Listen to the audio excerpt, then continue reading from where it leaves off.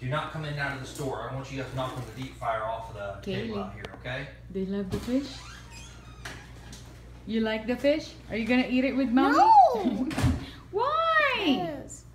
It's No. It's I'm yummy. boring. I'm boring.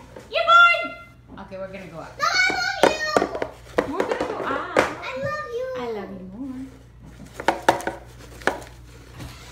KK loves tilapia. Kailey, what is it?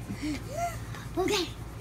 When the fish is in the water, um, the when when the fish sees the turtle, the the the turtle gives the fish kisses.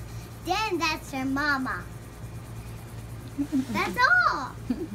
What are you eating now? And then the shark bites the fish and turtle. Kailey, what is mommy cooking right now? Fish.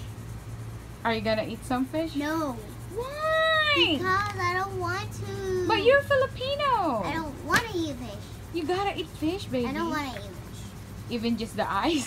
I don't want to eat. mommy I'm gonna- eat the eyes, don't. No. I don't want to eat the eyes. How about the tail? No.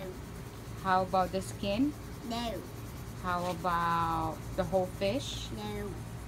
Ay, linti kang bata ka, Pilipino ka. I'm not gonna eat any of the fish.